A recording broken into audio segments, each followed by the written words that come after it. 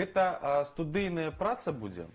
Альбом у аснове альбома гэта э, жывы запіс. Mm -hmm. то бок сапраўды ёсць э, ёсць такая метода калі ты записываешь асобна кожны інструмент а тут мы ўжо просто усім гуртом не, не змаглі ўжо больш трываць. э, калі там нешта будзе новае пайшлі у студыю і просто селі вось як на канцэрце максімальна набліжана да канцэртнага запісу зрабілі вось э, гэту працу Ну, мы Так. норма- нормальный еще период такой выбрали, когда у нас так все было наиграно, так, так. перло всем. так. Калі, калі, калі вось паміж канцэртамі калі больш-менш мы такі былі разыграныя і вось мы просто прыйшлі нашу праграму такую э, ядерную праграму актыўную наши э, баевікі нейкія хіты э, которым которые падабаюцца слухачам мы іх і запісалі просто жываком Ну гэта просто да чаго у нас усе наві бэнд былі а, і таксама зноў жа я глядзеў і без білета і наві бэнд яны апошнія свае новыя альбомы яны записывалі ў вёсцы яны выязджалі ўсім гуртом на вёску і зараз я гляжу гэта такая практыка калі ўсё больш э, з'язджаюць э, просто гэта- са добры а паехаць напрыклад Асабліва о, на вібэнд усім а, гуртом у вёску. у лепе у ле- што? Асабліва на вібэнд усім гуртом у вёску Нет, паехалі. не, не, не, почекай, музыканты, Ксюша, да. і та там же колькі музыкаў яшчэ, Там, яны ж усім конечно. гуртом паехалі, да. не за, яны не заўсёды у, і ў двух ну і мы з Ленем таксама не заўсёды ў двух іграем Ну так, і, памятаю, я быў, калі э, у лепельскага цмока там, там на сцэне ого колькі народ. Бригада было. С. Ну, Прычым, прычым усе мяняліся, там рэха, потым оп на гуаль. О, так это ж і там, і там, і, ну, Сменился вокалист. да, вокаліста памянялі. А людзі тыя ж на сцэне стаяць. просто дэфіцыт вакалістаў гітарыстаў Ну вось не, не, няма такога жадання паехаць у Сулепельскі раён там да, да, вось, на, на радзіму да Андруся і нешта там, разам з гуртом завіснуць на ўсё лета напрыклад ці на зіму чым чаму б не гэта вялікая раскоша на самой справе что За- за- зараз выцягнем да? Лёня зараз выцягнем абяцання што што ўсім гуртом па- па- паедзеце але справа тым што сапраўды ну, у музыкаў таксама розныя праекты розныя канцэрты і вось гэта сапраўды вялікая раскоша калі э, удаецца некуды выехаць усім гуртом на нейкі час вось на Но запіс это собирают. Представляешь, ты, тебе некуда деваться. А если еще там интернет не ловит? такое здараецца ў нас на выязных гастролях калі сапраўды мы дзе-небудзь у гатэлі у адным нумары і тады мы ствараем новыя песні Таму што сапраўды няма куды няма куды Наше, разам наше развлечение такое. Адпачываеце. Ну і сапраўды калі вось муз музыкі там па неабходнасці апынаюцца разам і рэпетыт гэта ну і ты мусіш нешта ствараць тады і вось этот такі штуршок добры для крэатыўнасці для новых песняў Таму э, вёска гэта вялікая раскоша на три месяцы я не думаю што Самогончик. не думаю што графік просто у супадзеў музыкантаў але Ну калі не атрымаецца ў немец. лепель у Наваполацк можна паехаць? Да, там осталась моя деревня, там еще можно туда поехать. Э, Кстати, сейчас скажу, 2006 год это был, э, у Нагуаля была такая практика, мы все поехали на неделю, вот в мою деревню, это вот Мёрский район, деревня Новинцы, и мы записывались в бане. Ну, это вот старая... Насчет веника я скажу сейчас. Это Так вот, старая деревенская это баня. называется аголенае мастацтва Сучаснае, не блытайте, будь ласка. агаліліся не толькі нервы але і музыканты але і музыканты І што там з венікам? С, с веником. Это старая деревенская баня с этими пропитанными бревнами, дымом. Э, И вот мы там, ну, привезли, понятное дело, там на микрофоны ж писались, на, на- на звуковую карту, не, не- не на бревна. Да. Но звук звук какой-то просто был волшебный, особенно вот для каких-то таких э, медитативных э, песен на Гуале того времени. Э, Но только две песни потом оказались в альбоме. Это ладно, это длинная история. Вот. А с вениками у нас была одна композиция, где мы, собственно, использовали звуки веников таких. Это действительно классно такая. Все передается, вот эти вот шумы. Не, ну я ведаю гэта напрамак сінці-поп, дэпешмот, якія э, гэты усе Сінці-венік. гукі яны Сінцітазік і сінцівенік. Ну, а, добра. А, мы, мы, мы, мы, мы зараз сказалі яшчэ пра тое, што а, на сцэне, так, калі, напрыклад, вось у Лепелі быў гэты канцэрт, што музыкі шмат якія граюць і, і ў Нугуалі, і ў Рэха, і ў Гаротніцы. А зараз хацеў што спытаць. А раней былі вось ўсё ж такі супольнасці беларускіх музыкаў і стваралі нейкія нейкі праект ну напрыклад я нарадзіўся тут Мгм. народны альбом вось гэтай былі Святы вечар. а, так святы вечар нават а, трыб'ют дзепіш мод быў у выкананні беларускіх музыкаў усе э, больш-менш вядомыя гурты яны паўдзельнічалі вось зараз нейкая цішыня да вось ну, не, няма ніякіх ці плануецца нешта можа вы нейкімі ініцыятарамі станеце калі б зараз аб'яднаць зараз шмат гуртоў тых жа маладых і там і, і нізкіс і акуты і петля і петля прыстрасця які б я думаю маглі б згуртавацца не, нешта выдаць цікавы новы абсалютна не, не магу сказаць прадукт гэта ну нейкі твор Мгм. Ну, мне здаецца, што зараз у саміх са, сам, самыя музыканты не адчуваюць патрэбы ў гэтым. То бок кожны неяк працуе на сваёй дзялянцы цяпер. Вось. Ну, у нас у нас былі нейкія такія практыкі, калі скажем, мы просто запрашалі на, на нейкую песню, вось, на песню снег паліну рэспубліку. Ну, разовые такие все Так, равно же разовые. случаются. А каб, а каб э, зрабіць вось песни. такі цельны праект, то ўсё ж таки гэта ну цяжка, мне здаецца. Это трэба это трэба быць такімі апантанамі, каб вось гэта менавіта адной ідэі нейкай. А тут кожны гурт зараз глядзець пра ну, ну, на свой канцэрт, там на свой запіс, там ну, яму б свой клуб сабраць.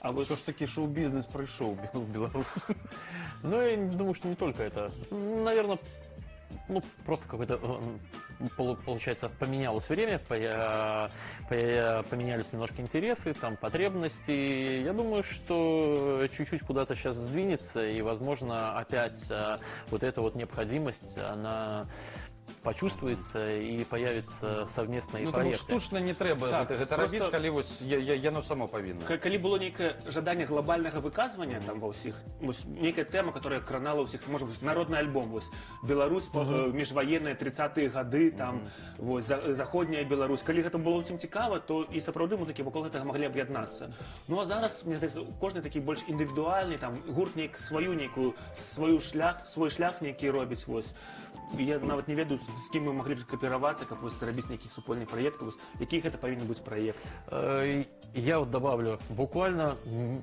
это было месяц назад, но еще, э, месяц назад это были съемки, а мне позвонили перед Новым годом и как раз э, совместный проект э, поговорили и предложили.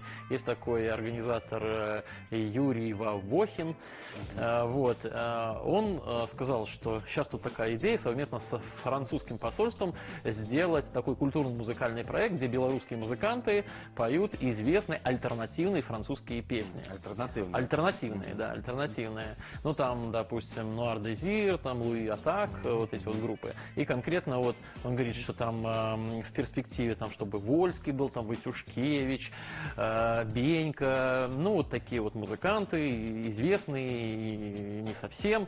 Ну, вот и меня туда тоже пригласил, там, спеть э, песню под названием «Плюм», «Ля Плюм», э, группа Луиза Так. Ну, мы репетировали, там еще приходил Помидоров, э, но он так, немножко такого рэпа читал э, в этой же песне. И там была такая фишка, что это все должно быть объединено идеей космополитизма. То есть в основе французский язык, но туда еще добавляется белорусский язык. э, беларускія возможно, даже- выканаўцы гэта А? ўсё гэта ўсё робяць беларускія выканаўцы Да, да, да, да, да, да. И, ну, мы пока отсняли э, такой промо-ролик, Мгм. и пока не знаем, что будет дальше. Так што, можа быць раптам будзе праект нейкі Такая новы. вот информация. Я Я вам чакаць ну вось ну, ну вось па- па- памідораў Ю- Ю- ён жа крывашеяў да, рэпчык запісаў а рэпчык пра праскарыну у нас бу- будзе сёння ці О, Не. сапраўды а, а, так, а, давайте. Э, м, праходзіла выстава ў нацыянальнай бібліятэцы э, прысвечаная 500годдзю беларускага кнігадрукавання вось яна летась праходзіла і нас тут запрасілі і замовілі э, гурту рэха песню пра францішка скарыну і, і вось мы зрабілі такі рэп. Не удержались и сделали.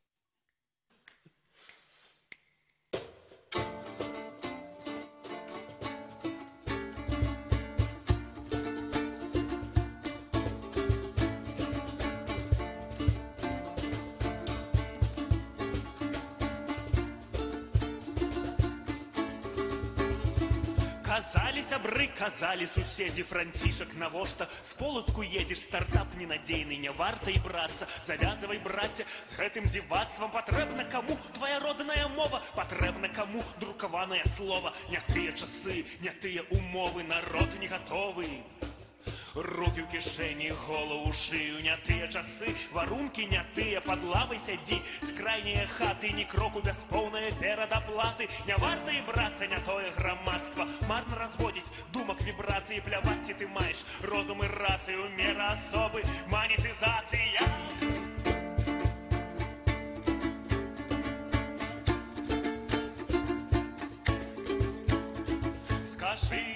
Скажи нам, Франтішак Скарина приймає як сина у гості земля. Скажи нам, ці правда, Франтішак Скарина у родних містінах пророків нема.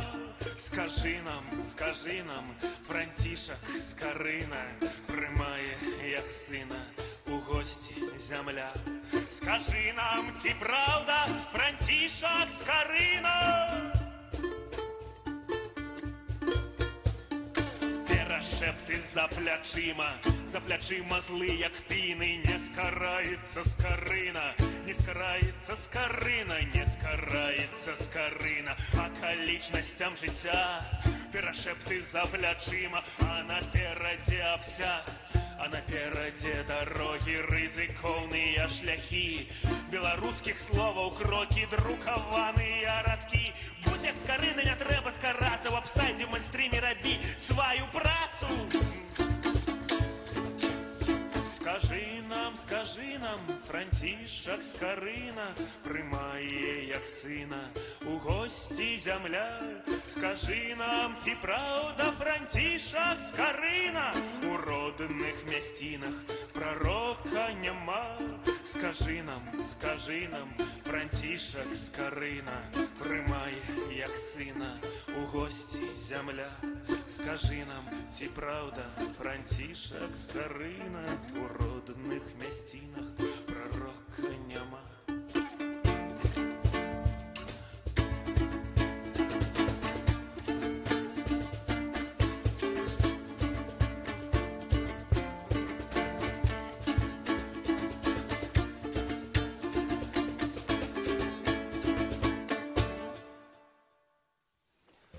Дякую. Сур- Сур'ёзная песня.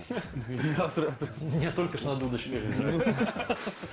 Малося. Э, Што б сказаў э, Скарына, калі б пачуў гэтую песню? Ён сказаў, што гэта такое?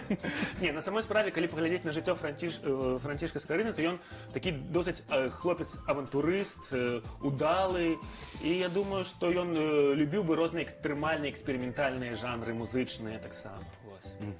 Э, Я думаю, што такі добры прыклад, каб на яго раўняцца. Ён там камерсантам быў, з бацькам зарабілі грошы на адукацыю, паехаў туды, пасля там э, у князя працаваў, рабіў сваю справу, не адчайваўся, вось такі прыбіўны. Я думаю, ён бы любіў нейкія такія прыбіўныя Ну, рэп-кампазіцыі. как Михалок.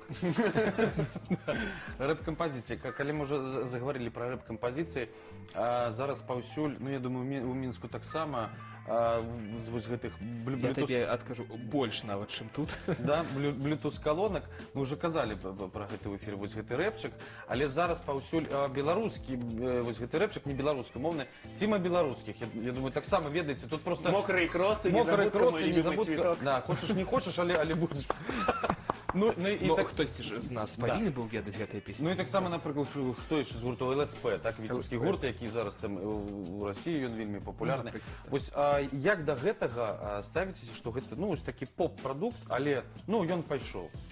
Вельмі класна. Я асабіста вельмі радуюся за землякоў якія там дасягаюць нейкіх вяршыняў на снг там музычным рынку.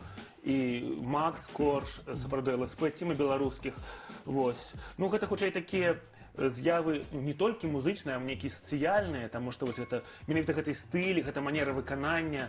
Ну тое што неяк прываблівае пэўную колькасць ну, вялікую колькасць аўдыторыі і магчыма я там не ўсё у гэтай музыцы разумею але мне просто цікава як нейкія культурніцкія з'явы і радасна за поспех э, калегаў М, Я тоже радуюсь, но, но во многом... слухаць не могу. но, но не всегда. Да, во многих, э, во многих, так сказать, местах озадачен. Да, озадачен. Ну, это так.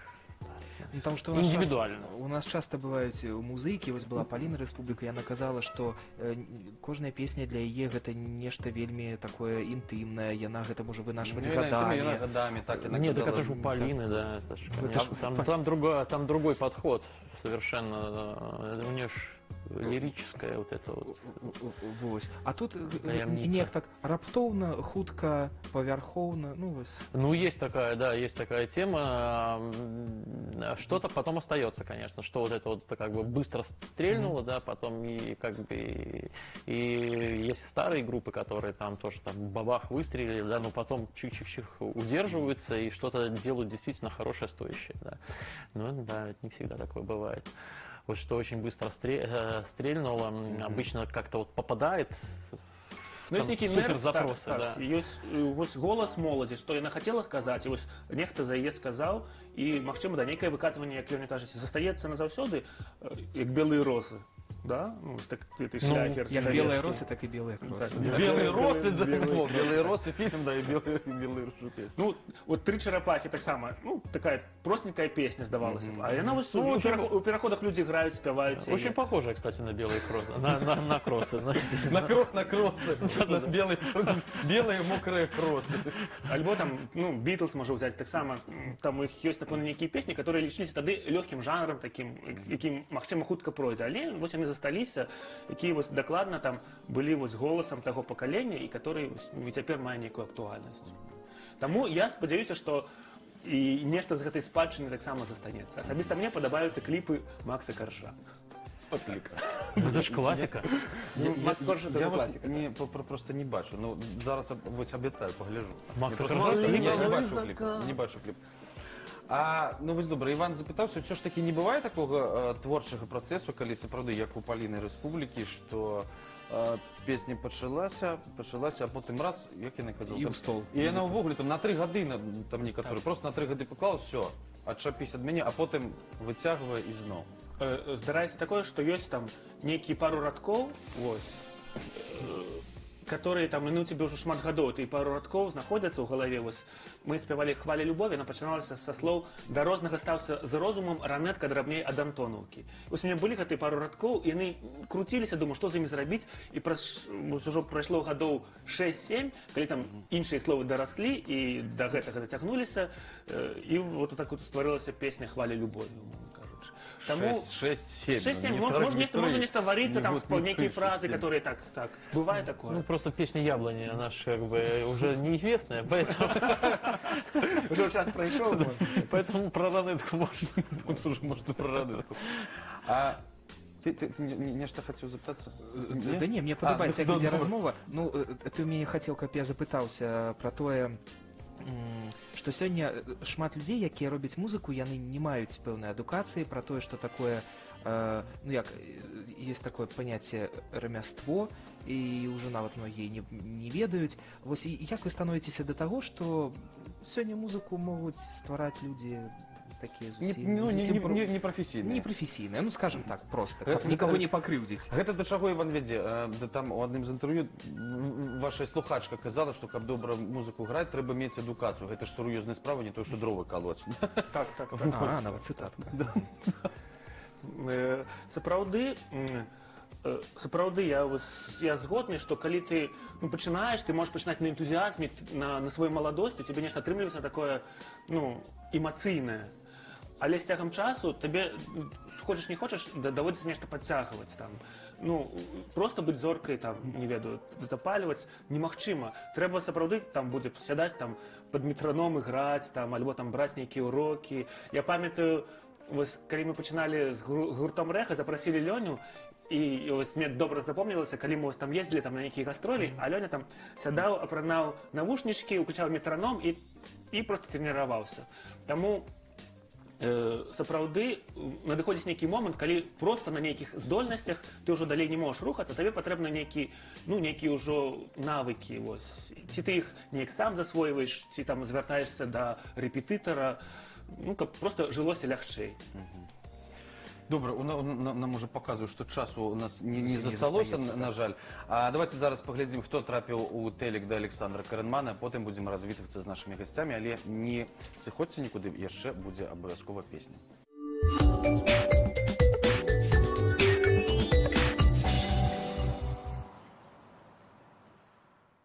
Добрый вечер, это рубрика «Попади в телек», и сегодня очень полезный, я думаю, для всех вопрос. Какое качество нужно в себе развивать, чтобы стать успешным человеком? Поехали. Как вы считаете, какое качество нужно в себе развивать, чтобы быть успешным человеком? Ой, качество. Да много надо быть качеством, надо быть честным. Честность? Ну да. Ну, вы успешный человек? Самому себе. Я? В принципе, да. Это значит, что вы честный к самой себе. Да. Когда честный к самому себе, главное, а, душа не болит, в первую очередь. Это самое-самое главное. Какое в себе нужно качество развивать, чтобы быть успешным человеком? Ну, Я думаю, терпение. Терпение. Вы успешные? Ну, не сказала бы, но стремлюсь. Больше терпите. Хорошего дня. Какое нужно в себе развивать качество, чтобы быть успешным человеком?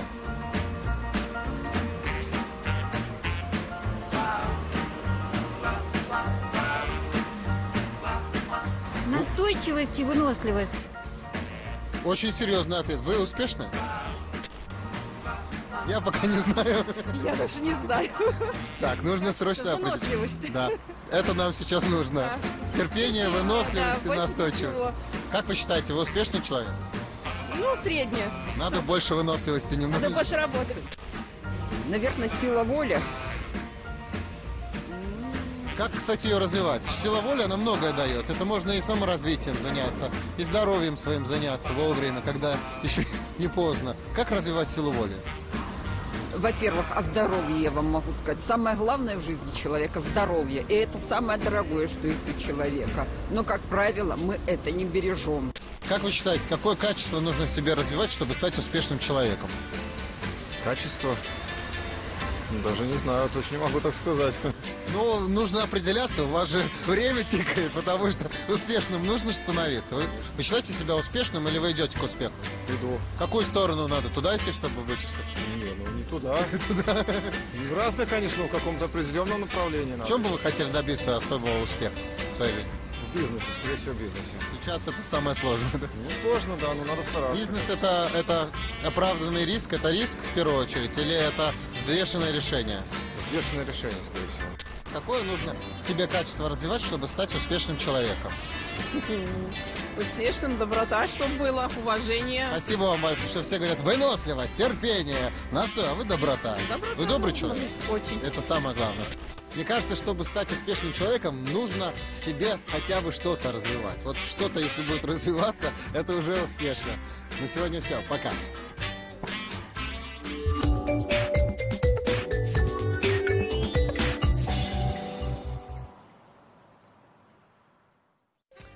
Ось як завжди у нас такі е, вясёлы Александр Каранман, але я думаю, што у нас таксама сёння было лёгка і больш-менш э, весела.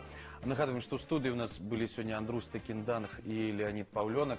І у вас ёсць э, магчымасць хуценька запрасіць на свой канцэрт. Сябры, э, Толькі адразу сказаць, дзе ў якім горадзе. э, шановные віцебляне, прыязджайце ў сталіцу ў Менск 21 красавіка э, у клуб TNT, там будзе канцэрт з сюрпрызам. Гурт Рэха будзе для вас граць і будзе, будзем радыя ўсіх бачыць. Ну вось э, зараз усе э, наши гаражане поедуць у Мінск мы з вами вось, мы развітваемся і жадаем мне сумнага вечара пакуль Пакуль. Припыню свои колесы, дай с конем я подивлюсь, як по градской дорозе едет трактор Беларусь. Ён нагруженный доверху, с бульбою вязе мяхи. Эх, мой косю, дай же веры, справно тягне погляди. Косю, дай же веры, справно тягне погляди. Ён